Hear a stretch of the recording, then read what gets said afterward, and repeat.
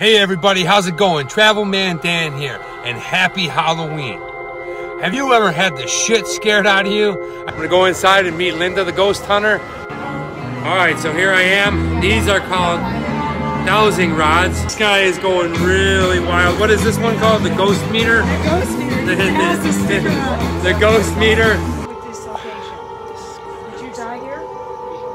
Yes? Female voice that said yes. remarkable stuff here so far. Um, definitely uh, something's going on, so we're gonna keep exploring. Let's continue on. The fact that we've got so much evidence from the minute we started. As you can see, the rods are starting to cross. now we're back to zero. Now we're at 173. And we're getting temperature fluctuation.